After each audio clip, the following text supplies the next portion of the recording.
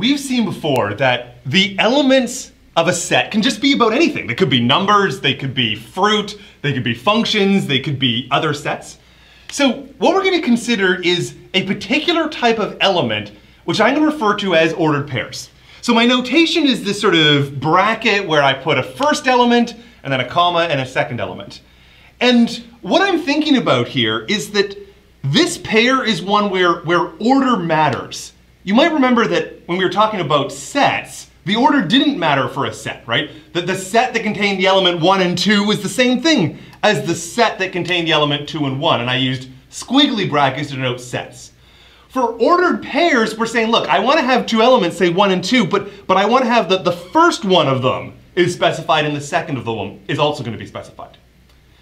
And then going to have a sort of a notion of equality of ordered pairs. It's kind of a, an obvious one, is to say that the ordered pairs are going to be equal if it has the property that the first two components are equal and it has the property that the second two components are equal. So in other words, we're saying AB is equal to CD if the first two components, that's the A and the C, those are equal, and the second of the two components, the B and the D, that those are going to be equal.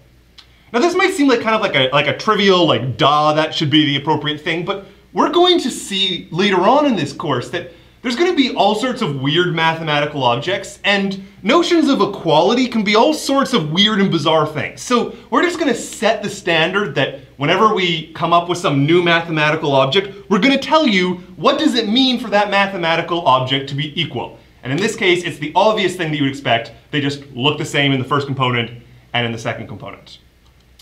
It also should be noted that the A and the B here, they could come from entirely different sets. Uh, like I could consider, for instance, a pair that was like three apple. Because the first element is just a number, it comes from the set of, say, integers, and that the second element could come from the set of, say, fruit.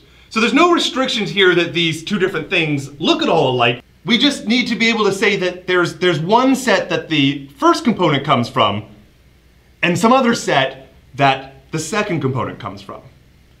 So now what I want to do is, I want to consider a set whose elements are going to be made up of these ordered pairs. In other words, uh, the individual elements inside of your set are not a number like one, two, or three. The individual elements inside of your set are each themselves ordered pairs.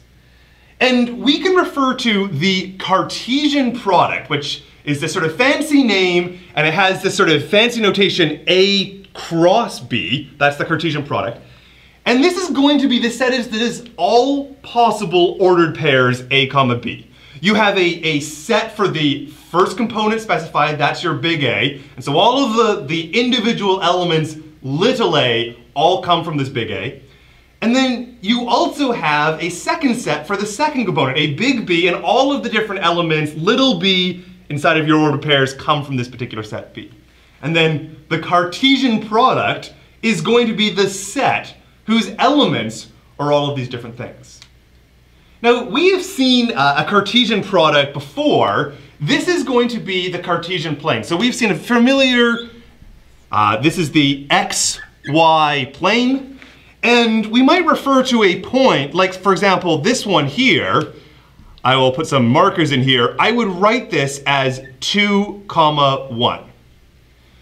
And what I am meaning here is an ordered pair where the first component tells me the x-coordinate, and the second component is going to tell me the height.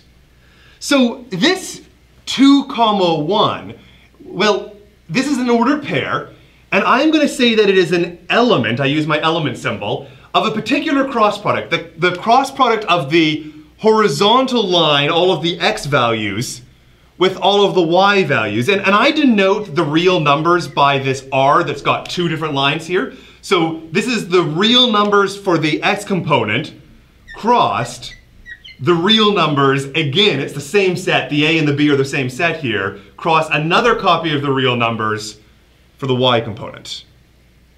And then if I ask what r cross r is itself, well, that's going to be the Cartesian product, but it, what it represents is the entire real plane or the entire Cartesian plane.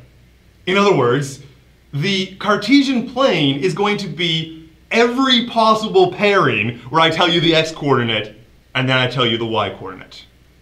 In this example, we have the Cartesian product between two very small sets. So for instance, first of all, I'm gonna have this set, which is the pairs A comma B. So I'm gonna call this the set A. And then I am crossing this with some other set that I'm gonna refer to B, and, and B here is just the set that contains either zero or one. So both A and B, they only contain two different elements, but the two different elements are different ones. They're, they're letters in the case of big A, and they're numbers in the case of big B.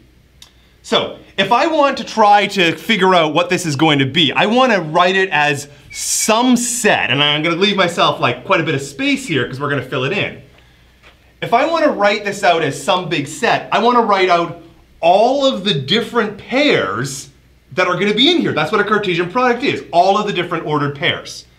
So I want to think about all of the ways where I can take one element from the big A and one element from the big B. Well, one thing that I could do is I could look at, well, how about little a1? That's a possibility, right? That's choosing my little a is one of the elements here, and then my one is one of the elements over there. So that's perfectly fine. But I've got other possibilities. I also could choose a and zero. I also could choose things that have b at the front of it. I could choose b and one, and I could choose b and zero. So what I've got in here is this list of four different elements, and that forms my cross product. Every element in my cross product is an ordered pair, and because it's only two and two for the different sizes, there's only going to be the four possible ways that I can combine them. And so I'm going to say that this is my Cartesian product.